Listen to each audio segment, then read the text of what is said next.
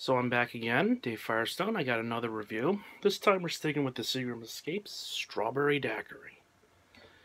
Uh, this is one of the ones I've been really looking forward to.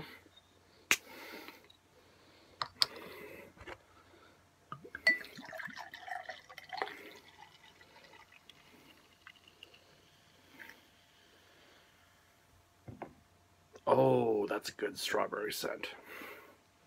Gotta get another whiff of that. Oh, that is a good strawberry scent. Cheers.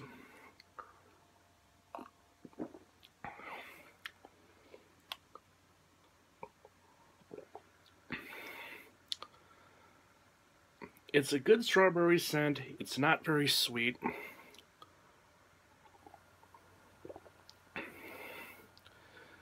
Got a little bit of an aftertaste, and it's smooth.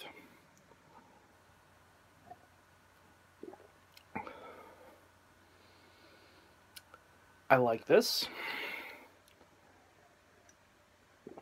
I do think the strawberry flavor could be a bit more pronounced, but this certainly isn't bad.